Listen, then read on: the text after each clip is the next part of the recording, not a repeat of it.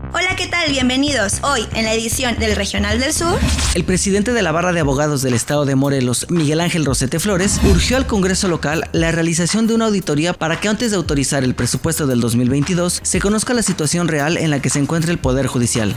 El sector médico privado en Morelos cuestionó la estrategia del gobierno federal para vacunar que hasta el momento ha sido caótica y irresponsable, principalmente por los centros de vacunación son improvisados, sin medidas de seguridad sanitarias. Al retomar clases presenciales en las escuelas, 60 integrantes de la comunidad educativa en Morelos han sido contagiados de COVID-19, informó el vocero del Movimiento Magisterial de Bases, Alejandro Trujillo González.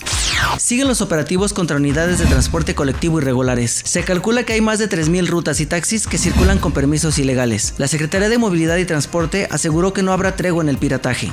Luego de la comparecencia del fiscal Uriel Carmona ante los diputados del Congreso, el legislador del partido Movimiento Ciudadano, Julio César Solís, aseguró que si el funcionario estatal ha cometido un delito grave, debe separarse del cargo para enfrentar a la justicia. Al mes se denuncian más de 100 casos de robo en transporte público colectivo. Esto de acuerdo con cifras de la agrupación Rutas Unidas que preside Aurelio Carmona Sandoval.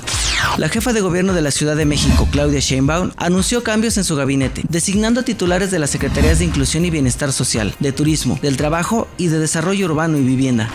El exgobernador de Aguascalientes, Luis Armando Reynoso Femat, fue vinculado a proceso por la probable comisión del delito de defraudación fiscal equiparada por los ejercicios fiscales comprendidos entre el 2012 y 2014, informó la Fiscalía General de la República. Xiaomi presentó su modelo de gafas inteligentes, un dispositivo disponible con el que despliega una pantalla ante los ojos del usuario para ofrecer información adicional como direcciones, traducciones automáticas o la posibilidad de hacer y compartir fotografías.